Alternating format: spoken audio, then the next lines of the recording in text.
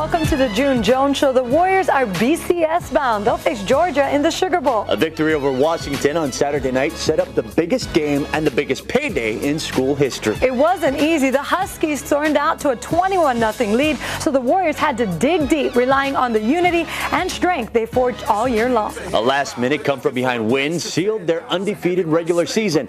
Now their cry for respect will be heard around the country as UH travels to New Orleans. But this isn't the end of the road. The most storied team in UH's record books is now on its way to shake things up and prove it belongs in the Bowl Championship Series. Here's a look at what's on tap tonight, brought to you by Bud Light. Always worth it. Moments after JJ and the Warriors got the news, I sat down to talk to him about the Sugar Bowl berth against the Georgia Bulldogs. We'll relive Saturday's dramatic come from behind win that catapulted Hawaii up the polls and into a whole new realm, the realm of football's elite. And we'll go under the helmet with Warriors coach Rich Miano, whose experience and grit has captured his players' respect.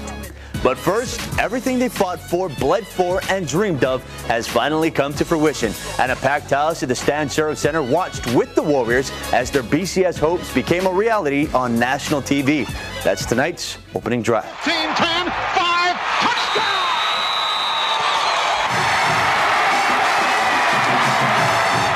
The Warriors stood and roared with the crowd as their fate unfolded right before their eyes. And as the Hawaii faithful continued to cheer, their heroes responded.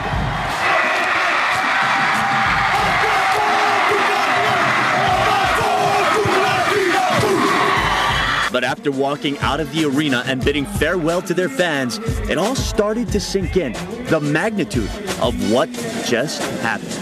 And just knowing that, you know, we've done, we're making history right now. Just knowing that what we've done, nobody can take away from, from us. And the best part about it, we worked so hard for it. And we did as one. For some, more than others. I mean, as you can see, I can't stop smiling. Like, I don't know, it's so awesome.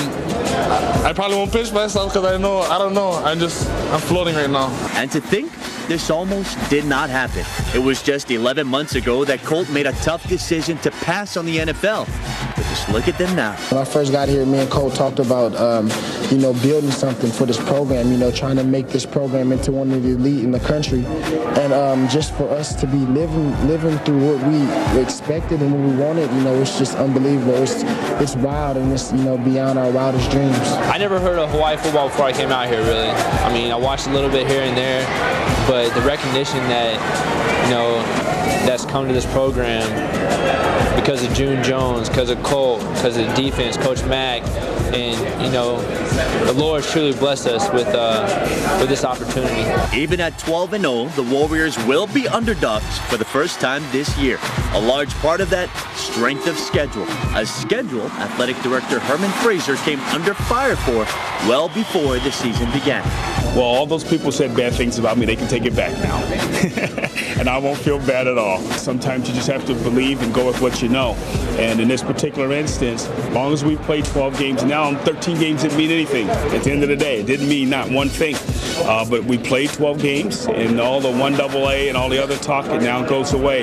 But, you know, we're, we're not sitting here gloating on it. Uh, we were just fortunate, and it worked out, and we won, and other people lost, and now we're in the BCS. The Warriors admit Georgia will be the toughest team they've faced by far in 2007. But they say they'll be ready.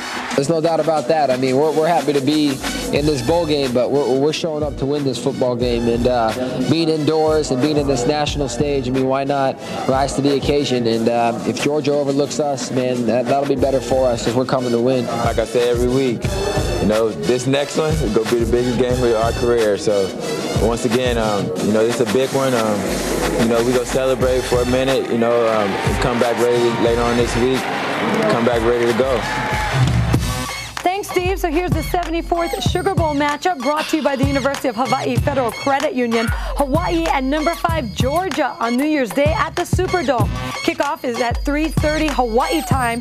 Six days later, the national championship game will be held in the same building. Top-ranked Ohio State taking on LSU. Here's a look at the other BCS matchups. USC will play Illinois in the Rose Bowl. Oklahoma will take on West Virginia in the Fiesta. And Virginia Tech and Kansas will play in the Orange Bowl.